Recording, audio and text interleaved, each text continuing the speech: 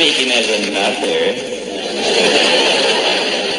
And I listened to a lot of rock while I was there. And American rock has got a certain self-pitying kind of whine to it.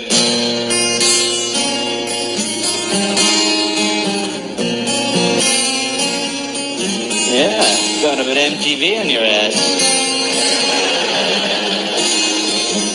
You picked me up from school. You attended all my sporting functions. You bought me a car. Gave me use of a credit card. But how can I feel pain? How can I feel pain? How can I feel pain when you're being so supportive?